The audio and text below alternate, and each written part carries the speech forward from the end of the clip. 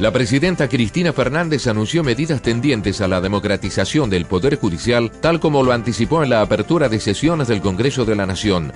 Diego Bocio detalló el mecanismo para acceder a las ayudas del ANSES para beneficiarios que hayan sufrido las consecuencias de las inundaciones. Deberán llenar un formulario que estará disponible desde mañana en La Plata y la ciudad de Buenos Aires. Tras la verificación correspondiente, en cinco días hábiles recibirán los beneficios. Una patota compuesta por miembros de la seccional La Plata de la UOCRA que lidera Miguel Pata Medina golpeó a jóvenes que brindaban ayuda en una escuela de Tolosa.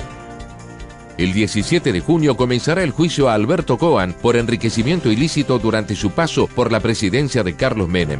Murió Margaret Thatcher, la ex primera ministra británica durante la década del 80, símbolo de la guerra de Malvinas y de la revolución conservadora. El titular de Independiente, el director técnico y seis referentes del equipo se reunieron para analizar el pésimo presente del club de cara al partido del viernes con Unión de Santa Fe.